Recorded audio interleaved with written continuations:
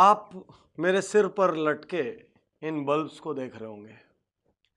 मैं जब भी बल्ब को देखता हूँ तो मुझे थॉमस अल्वा एडिसन की याद आती है। थॉमस अल्वा एडिसन को जब वो छोटे थे तो उनकी स्कूल की टीचर ने उनको मंद बुद्धि कहा था और स्कूल से निकाल दिया था। और थॉमस अल्वा एडिसन के माता पिता को कहा था कि हमारी स्कूल में हम इसको नहीं पढ़ा सकते, ये बहुत मंद बुद्धि है। और आप इसको घर में पढ़ाइए। थॉमस अल्वा एडिसन की माँ ने उनकी बात को मानने से इनकार कर दिया और उन्होंने बोला, मेरा बच्चा मंदबुद्धि नहीं हो सकता। मैं इसको घर में पढ़ाऊँगी। और थॉमस अल्वा एडिसन आज दुनिया के उन वैज्ञानिकों में से जाने जाते हैं जिनके नाम से मैक्सिमम इन्वेंशन है। दुनिया के टॉप टेन में से एक। यदि थॉमस अल्वा एडिसन की माँ ये मान लेती कि मेरा बच्चा मंद बुद्धि है तो पूरी ज़िंदगी वो उसको मंद बुद्धि की तरह ट्रीट करती रहती है और वो मंद बुद्धि बन जाता साथियों, इतिहास कौन रचता है? इतिहास वो नहीं रचते जो लोगों की बात सुन के मान लेते कि मैं कमज़ोर हूँ, मैं हीन हूँ, मैं नहीं कर सकता, मुझे नहीं आता। इतिहास वो नहीं रचते जो किसी दूसरे की राय के लिए अपने संकल्प छोड़ देते हैं। इतिहास वो नहीं रचते जो कोई दूसरा डिस्करेज करता है डिसार्टन करता है तो अपने टारगेट्स छोड़ देते हैं। इतिहास वो नहीं रचते जो कोई उनसे खराब व्यवहार करता है तो वो अपना अच्छा व्यवहार छोड़ देते हैं। इतिहास वो नहीं रचते जो जरा सा टॉर्चर पाके अपना टारगेट छोड़ देते हैं। इतिहास वो रचते हैं जो सहते हैं।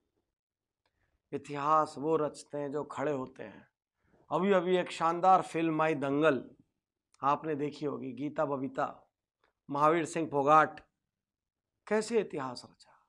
जब महावीर सिंह फोगाट ने अपनी बेटियों को तैयार करना शुरू किया तो पूरे गाँव ने मज़ाक उड़ाया। महावीर सिंह फोगाट ने उनको सुबह सुबह उठाया, उनके बाल कटवा दिए, उनके खाने पीने पर रोक लगा दी, सब कुछ किया। यहाँ तक कि उनके बच्चों ने उनको दुश्मन समझ लिया।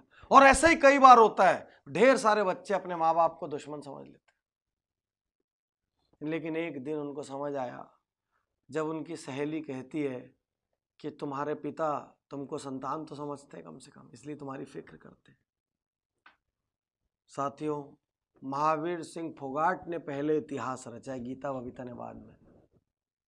महावीर सिंह फोगाट ने वो बीज लगाया, उनको सींचा, बड़ा किया, सारी दुनिया के तिरस्कार। महावीर सिंह फोगाट ने कहे। साथियों आज आपका तिरस्कार हो रहा है कहीं और आप यदि उसकी वजह से हिम्मत हार के बैठ गए तो आप बड़े नहीं होंगे। भरी गर्मियों में जिस सूरज का तिरस्कार होता है, सर्दियों में उसी सूरज का इंतज़ार होता है। याद रखिए, आज तिरस्कार का मतलब आजीवन तिरस्कार नहीं है। इतिहास वो नहीं रचेगा जो लोगों की सुनेगा।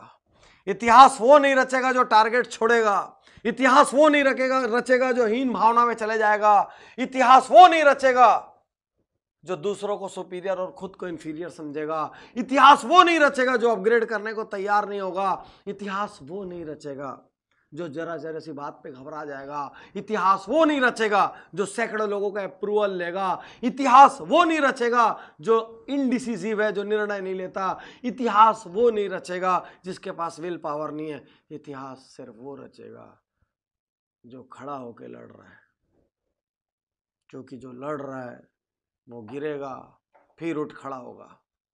जो लड़ रहा है, वो हारेगा, लेकिन फिर जीतेगा। लेकिन जो लड़ा ही नहीं, वो तो जीता ही नहीं, वो तो हारा ही नहीं, क्योंकि वो कभी लड़ा ही नहीं।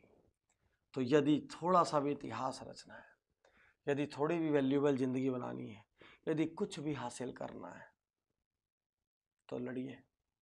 लोगों की ना सुनिए, लड़िए। डरिए, मगर करिए। डरना स्वाभाविक है। किसी बड़े काम को करते हुए डर लगता है, किसी संकल्प को पूरा करते हुए डर लगता है, किसी राह पे चलते हुए डर लगता है। दुनिया की बड़ी ऑनलाइन अखबार की मालिक एरियाना हफिंगटन कहती है, मुझे बहुत डर लगता है, मैं डरती हूँ। Because fear is normal but मैं फिर भी करती हूँ, क्योंकि उसको करना ज़रूरी है। डरिए, मगर करिए, क्योंकि इतिहास डरने वालों को याद नहीं रखेगा, इतिहास करने वालों को याद रखेगा। सम्मान डरने वालों का नहीं होगा, सम्मान करने वालों का होगा।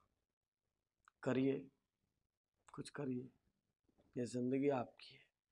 कुछ ऐसा करिए कि लोग आपको याद करें, कुछ ऐसा करिए कि आपको अपने जीने पर गर्व हो।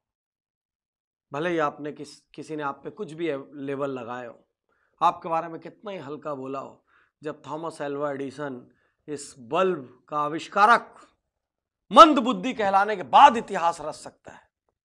और हर टेक्स्ट बुक हर बच्चा बच्चा उसका नाम जान सकता है। तो फिर आपका भी जान सकता है। शुक्रिया, धन्यवाद। Thank you.